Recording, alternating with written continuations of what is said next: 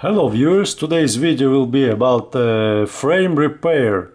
Rusty corrosion frame. You see there's a hole in it and we're gonna repair it by welding. We're gonna weld it. Now our welder is uh,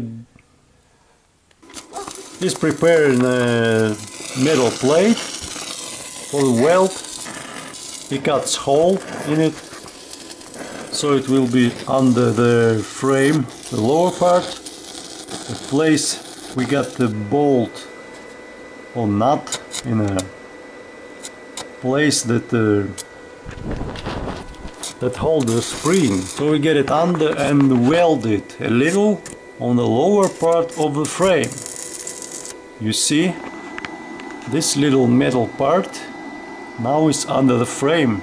It welded a little left part on, on the bolt and the right part on the um, gas tank mount. Now a welder man gets sprinkled by the water so it's not to overheat because there's a fuel line goes inside the frame in this place.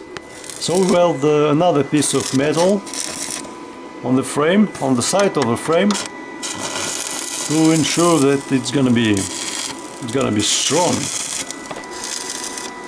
Welded and sprinkled by the water. That's it. Now we see this metal plate. So it's like an angle and um, we welded the lower part. Now it's uh, firm and snug.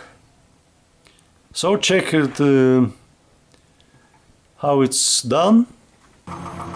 You see the crack on the frame on the top. But now it's not gonna break.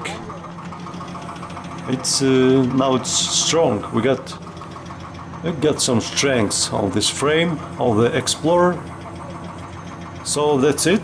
Subscribe press like. Bye bye